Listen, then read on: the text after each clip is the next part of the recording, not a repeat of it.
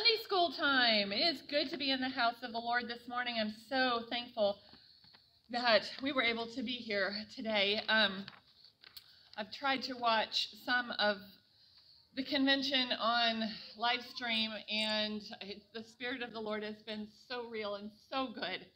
And I am so grateful. Um, I just feel so refreshed being here this morning. I thank the Lord I thank the Lord. But it's Sunday school time.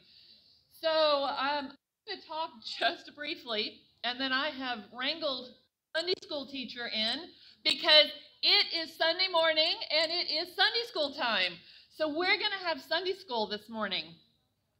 But our general theme for the year has been gather. Deuteronomy 4 and 10.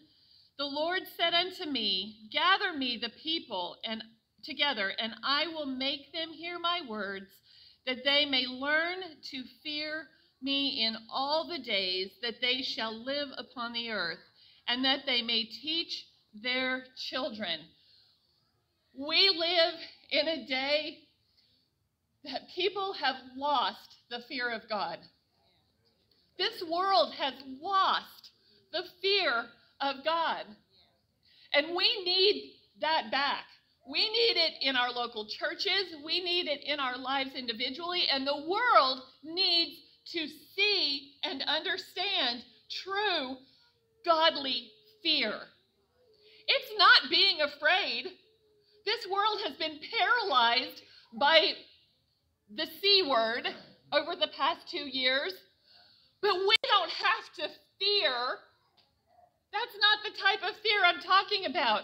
I'm talking about the reverence of the God that we serve that is in control of that C word. He's in control. And He has a plan in all of this. We have a responsibility. The Sunday school department was given to us as a teaching tool. How else are we going to learn? How else are we going to learn?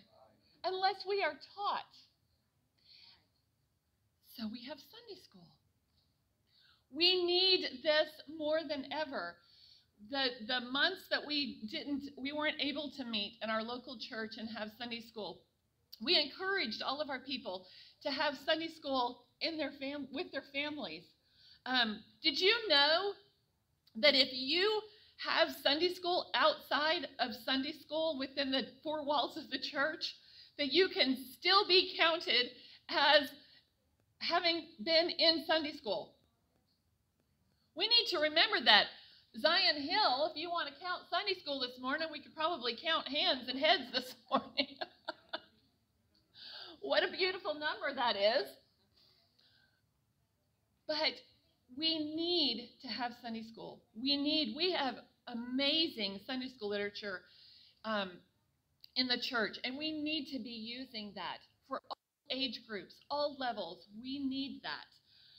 The Sunday school lesson, as I was preparing for this boost this morning, our Sunday school lesson goes right along with the theme of getting ready for the rapture. It get it goes right along with the gather theme that was the general Sunday school theme.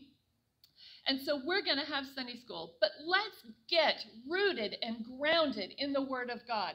We need it now more than ever. There's a, another religious organization out there that says, give us your children from zero to five years, and we will have them for life. We should be indoctrinating pretty much.